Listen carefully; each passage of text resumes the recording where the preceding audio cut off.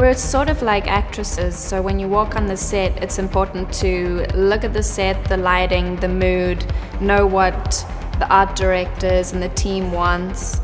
If I'm doing sultry stuff, I bring on the sexy eye contact.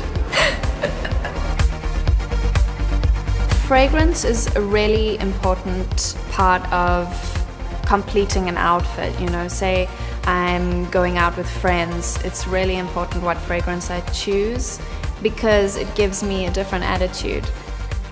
The most important part of the fragrance is the way it smells on your skin because all fragrances smell different on each person. So try out a couple of different fragrances and see what works best.